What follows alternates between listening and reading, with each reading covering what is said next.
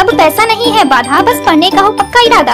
S R M health care and education all India N S C A grade N B A college polytechnic B tech B C M C A B B M B A hotel and hospital management इत्यादि course में Bihar student credit card की मदद से नामांकन के लिए संपर्क करें। सभी पारंपरिक course B A B S C B com M A इत्यादि में भी नियमित दुरुस्त कोर्स के लिए नामांकन की सुविधा उपलब्ध है। हमारा पता है रेलवे स्टेशन के सामने शिव मंदिर के समीप नया टोला Naugatiya nine five three four double three eight six eight nine, seven eight five six nine one four two three one.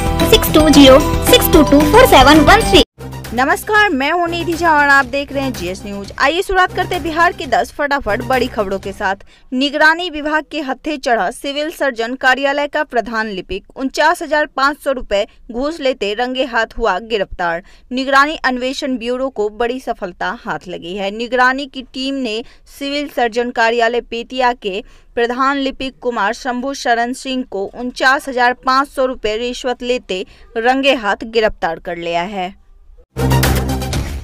JDU उम्मीदवार का भारी विरोध, काला झंडा दिखाकर नियोजित शिक्षकों ने लगाया नीतीश मुर्दाबाद के नारे। बिहार विधानसभा और विधान पार्षद के चुनाव को लेकर उम्मीदवार अपने अपने निर्वाचन क्षेत्र में प्रचार प्रसार कर रहे हैं। इस दौरान सत्ताधारी दल के नेताओं और एनडीए समर्थित उम्मीदवारों को लोगों की नाराज़गी का भी सामना करना पड़ रहा है। तिरहुत स्नातक निर्वाचन क्षेत्र के एनडीए समर्थित उम्मीदवार देवेंद्र चंद्र ठाकुर को भी भारी विरोध का सामना करना पड़ा। इन्हें काला झंडा दिखाकर शिक्षकों ने मुर्दाबाद के नारे इनके सामने लगाए। बिहार में आज फिर मिले कोरोना के 1,326 नए मरीज़। राज्य में पॉजिटिव मरीजों का आंकड़ा पहुँचा एक लाख निन्यानवे हज़ार पाँच सौ उनचास। बिहार में कोरोना संक्रमण की रफ्तार अब धीमी हो गई है। लेकिन इसके बावजूद भी हर रोज हज़ारों की संख्या में पॉजिटिव मरीज़ मिल रहे हैं।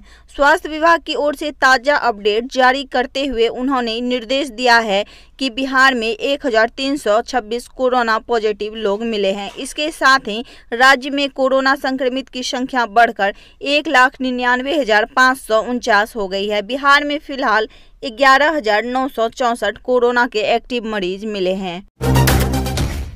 कोरोना संक्रमित अजय मंडल पहुँचे जदयू प्रत्याशी के नामांकन में।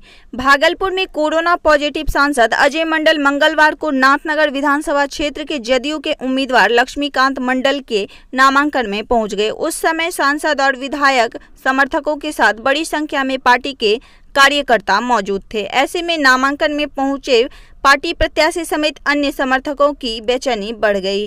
फ़िलहाल सांसद अजय मंडल क्वारंटाइन हो गए हैं। जेपी नड्डा की रैली को लेकर बीजेपी के कई नेताओं पर एफआईआर, सोशल डिस्टेंसिंग का नहीं हुआ था पालन। 11 अक्टूबर को बीजेपी के राष्ट्रीय अध्यक्ष जेपी नड्डा ने बीजेपी की चुनाव प्रसार की शुरुआत की थी।